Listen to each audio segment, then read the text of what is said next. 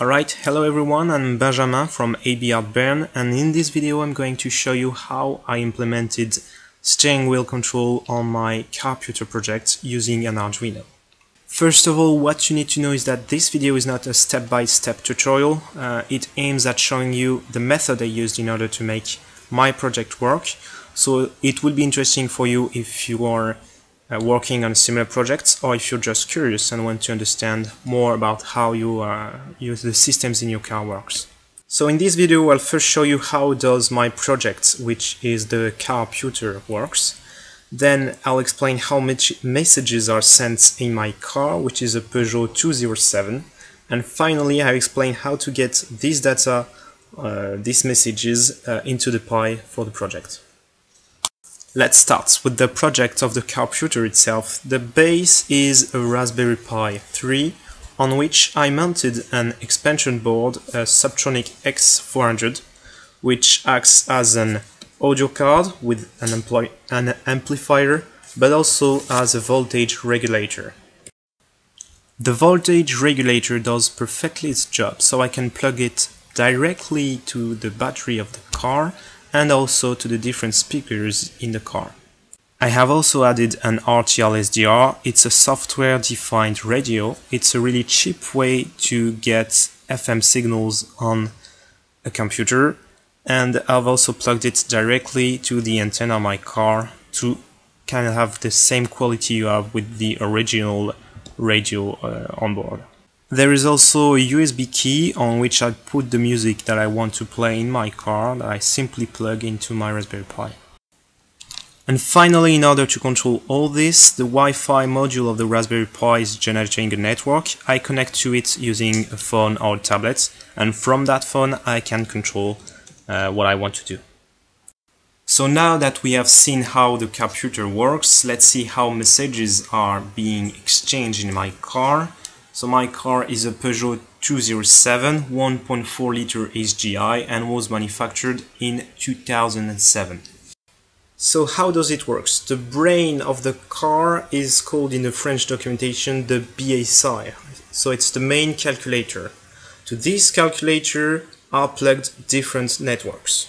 If you put diagnostic system aside, there are three main networks that are all using CAN protocols. The last network is the one that is interesting for us. It's called CAN Conf, as in comfort, so it handles all the comfort system in the car. So for instance, it's linked to the radio, to the air conditioning system, to the dashboard where it's displaying data to the driver, and finally, what is important for us, the steering wheel commands. Where did I find this?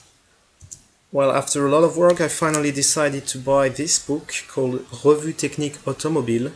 It's first designed for professional and explain in detail how everything is working and how to move everything, but there is a section about electronics and what they call multiplexing. So in there it explains all the different networks, how they are linked together, and one thing that is important for us, at which speeds the networks are working. Now that we know this, we can replace the radio, well, the wires that went into the radio by a CAN reader. For my case, I used an Arduino with a CAN module, which communicates with the Raspberry Pi. I know that I could have directly plugged it on the module on the Raspberry Pi, but I wanted to do it via an Arduino because on the long run, I want the Arduino to be constantly plugged to the battery and switch off the Raspberry Pi when the engine is turned off. With my Arduino finally connected to my conf network at the right speed, I made it send all what it saw to my computer and recorded it into CSV files. So I did a lot of recordings. Uh, during one, the engine was turning. During another, the engine wasn't. During one, I was using the wheel commands. So all these different changes in order to see if the messages were different. After I analyzed all these files manually using basic Unix commands like grep or sort in order to see if there was any difference between one recording to another. After some work, I finally found out that the messages were sent from the ID 31, but that the trick was that even if no button was pressed, a message was sent anyway. Once that was done, I could quickly identify which message corresponded to which button or group of buttons pressed on the steering wheel commands. So my final Arduino code was quite simple, it's just reading messages from ID31 and if it recognizes one of the buttons, it sends a two-letter message to the Raspberry Pi to say, for instance, volume plus was pressed. On the Raspberry Pi side, the script is also quite simple. It's just a Python loop which reads what the Arduino says, and for instance, if it receives V+, then it will put the volume up.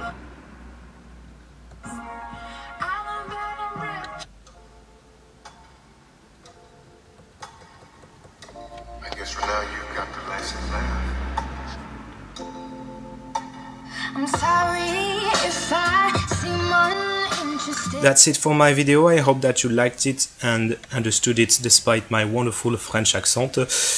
If you have any question, feel free to ask in the comments and feel also free to visit my website abartben.wordpress.com to see my other crazy projects like this.